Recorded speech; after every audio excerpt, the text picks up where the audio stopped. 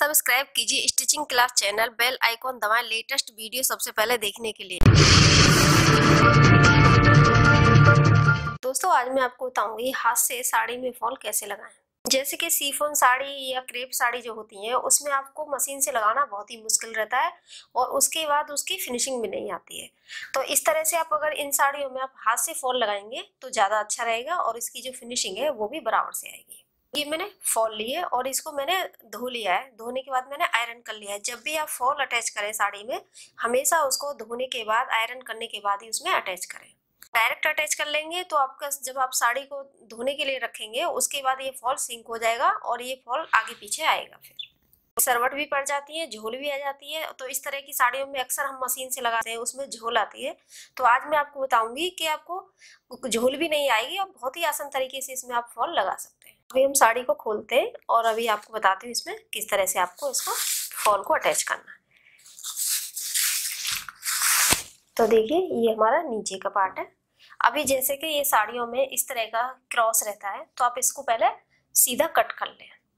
Cut करने के बाद ही आप इसमें पीको करें। अगर आप इस तरह से डायरेक्ट पीको करेंगे तो बराबर से नहीं बैठेगी। तो आप इसको पहले स्ट्रेट कट करें, उसके बाद पीको करें। तो अब हम इसको स्ट्रेट कट कर लेते हैं, जिससे कि हमारी जो फिनिशिंग है फॉल और पी को दोनों में बराबर से आ सके। तो जिधर से आपका ये क्रॉस है, आप उधर से स्टार्ट करें। आप दूसरी तरफ़ से करेंगे तो बराबर से नहीं बैठेगा। तो देखिए इतना सारा गैप है इसमें। तो हम इसको स्ट्रेट कट कर लेते हैं।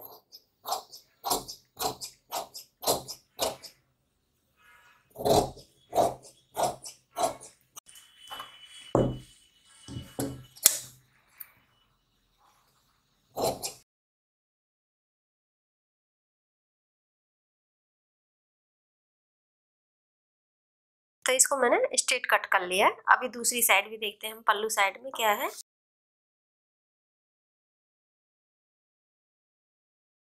तो ये दूसरी साइड में भी इसमें पल्लू नहीं है।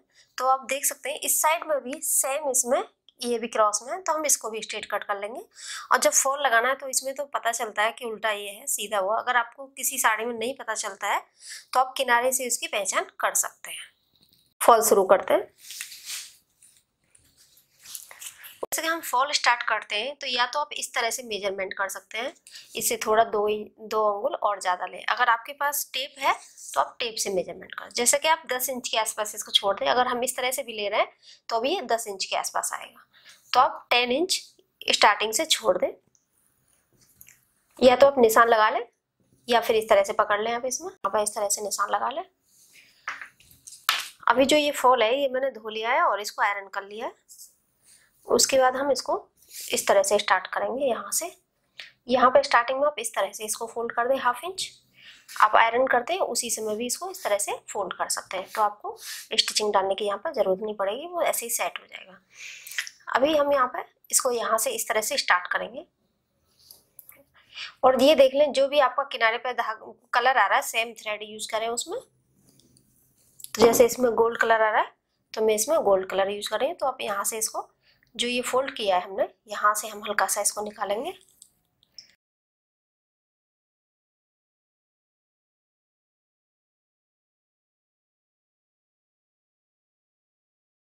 और जो भी ये कपड़ा है हम इसको यहाँ पे इस तरह से अंदर की तरफ़ दिखा दिखना नहीं चाहिए बाहर की साइड अंदर की तरफ़ उसको दबा देंगे। तो ये जो धागा लिया है मैंने, ये फोर फोल्डिंग में डाला है, लेकिन यूज़ में टू फोल्डिंग कर रही हूँ तो आप देख सकते हैं। ये फोर फोल्डिंग तक हमने हाफ़ तक लिया है और हाफ़ टू फोल्डिंग के थ्रेड से हम इसको यूज़ करेंगे। तो ऊपर और नीचे टू थ्रेड ही ले तो उससे क्या है, थोड़ा हैवी रहेगा और बराबर। अभी आप देख सकते हैं, मैंने इतना पीस वन इंच के आसपास इसको अटैच किया है तो इसको अटैच करना क्या है, आप इस तरह से ही ऊपर से बारीक लें। और पीछे चाहे के शायद थोड़ा सा गैप दे देंगे तो प्रॉब्लम नहीं है। लेकिन आगे की तरफ़ आपको बड़ा टाँका नहीं लगाना है, बड़ा लगाएँगे तो वो दिखेगा। अगर आप थोड़ा स्मॉल लगाएँगे तो आप देख सकते हैं, आपको पता ही नहीं चलेगा कि आपने फॉल हाथ से लगाया, देखिए। कहीं भी कोई भी सिलाई हमारी बाहर नहीं दिख रही है। तो इसी तरीके से हम पूरा इसको स्टिच कर लेते हैं पहले वन साइड और उसके बाद आपको बताएँगे नीचे किस तरह करना है।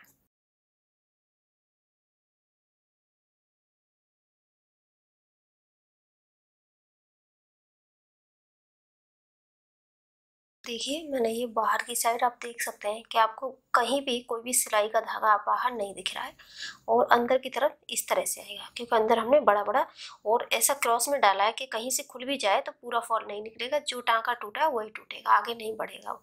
तो आप इस तरह से तो उसके लिए आपको एक और आसान तरीका बताती हूँ, जैसे यहाँ से आप स्टार्ट करेंगे और इसको देखें, यहाँ पर इस तरह से निकाल लें पीछे से। तो जैसे कि धागा है, वो फंसा रहेगा तो टूटेगा नहीं। और दूसरा धागा इसके बीच में से निकाला है, देखिए। आगे नहीं लिया है, पीछे से लिया है। तो ये लॉक हो जाता है। तो अब इस तरीके की पूरा मैं इसको स्टिच कर लेती हूँ। तो ये मैंने पूरा स्टिचिंग डाल दिया। देखिए, यहाँ तक। अभी मैं इसको पहले कच्चा टाँका करूँगी, वो आपको बताते हैं किस तरह करना है, उसके बाद फिर हम इसमें पक्का करेंगे। तो जैसे अभी हमको यहाँ पर स्टार्ट करना है तो यहाँ पर हम कच्चा टाँका लगाएँगे तो फिर हम स्टार्टिंग वहीं से करेंगे जहाँ से हमने पहले स्टार्ट किया था। तो जैसे थोड़ा सा फॉल क्रॉस में लग रहा है तो आप इसको थोड़ा सा और इस तरह से कर लें। और ये देख लें कि आपको इस फॉल में एक भी यहाँ पर सरवट नहीं आनी चाहिए तो उस तरीके से आप इसको रख लें। और मैंने इसमें सुई में धागा डाल दिया है और मैं इसको पहले इसको कच्चा टाँका करूँगी और मैं डबल धागे से कर रही हूँ जिससे कि अच्छे से सेट हो सके।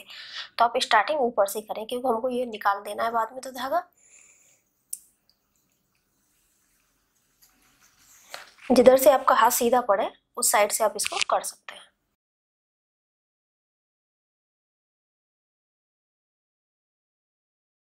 उसके बाद फिर से यहाँ से ले लें।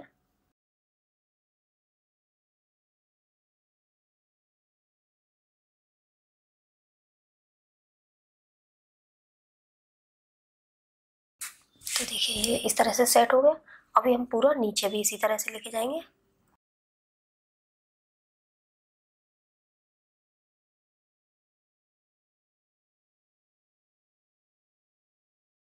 तो देखिए, यहाँ पर मैंने इस तरह से कच्चे बड़े बड़े टाँके लगाए। इसी तरह मैं पूरा और इस तरह से देख लें आप साड़ी में, कहीं भी कोई भी फ्रिल नहीं आनी चाहिए। इस तरह से सेट करते हुए इसमें कच्चा टाँका लगा लें।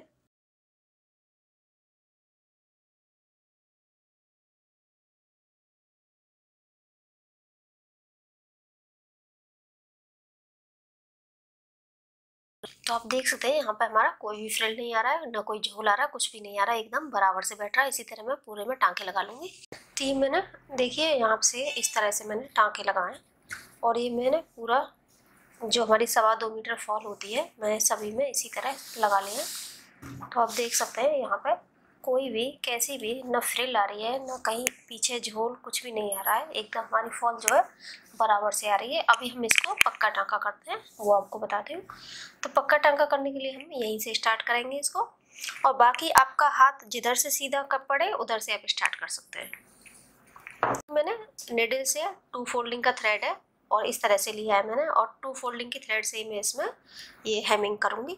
तो उसके लिए भी जैसे कि मैंने बताया, आपको हाथ जैसे सीधा पड़ा आप उसी तरीके के इसको कर सकते हैं। तो मैं यहाँ से इसको स्टार्ट कर रही हूँ तो नीचे से आप निडल को निकालें। और जैसे हमने यहाँ से लिया था, उसी तरह से इसको लेना। नीचे बड़ा बड़ा टाँका आएगा तो प्रॉब्लम नहीं है। और बाहर आपका दिखना नहीं चाहिए, एकदम बारीक बारीक लें।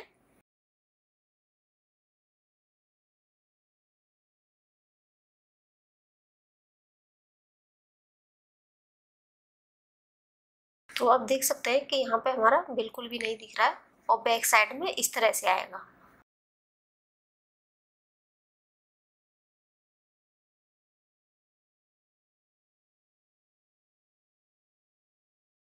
तो देखिए, यहाँ तक हमने इस तरह से किया है। तो ये इस तरह से आ रहा है। अब जैसे हमको टर्न लेना है तो सेम आप यहीं से इसको टर्न ले लें। और यहाँ पे थोड़ा सा एक दो बार टाइट कर दें। तो इस पीस यहीं पे लॉक हो जाएगा। और उसके बाद आप अंदर से फिर से हम इसी तरह करेंगे।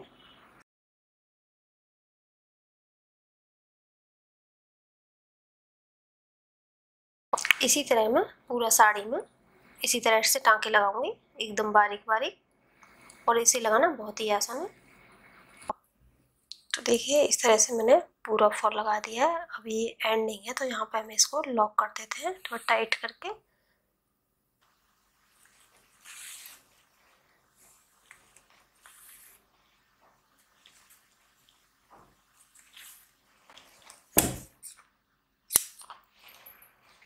तो देखिए, हमारी साड़ी में कहीं भी कोई भी फ्रिल नहीं आ रही है, कुछ भी नहीं आ रहा है। अभी जो हमने पक्का टंका लगा दिया है तो अभी जो कच्चा लगाया था, इसको आराम आराम से निकालें, क्योंकि ये अगर आप ऐसे खींचेंगे तो साड़ी में हमारी में होल हो जाएँगे तो अब इसको आराम आराम से इस तरह से निकाल दें एक साथ भूल कर भी खींचे ना। अभी हमारी फॉल लगकर कंप्लीट है तो आप देख सकते हैं, हमारी फॉल कितनी अच्छे से लगी है। पूरा, और बैक साइड में ये इस तरह से दिखेगी। और इसे लगाना बहुत ही आसान है। इस आसान तरीके से ये फॉल लगा सकते हैं फाइव से टेन मिनट में। दोस्तों, मुझे उम्मीद है कि हमारा वीडियो आपको पसंद आया होगा। वीडियो को शेयर करें लाइक करें चैनल सब्सक्राइब करें। Thank you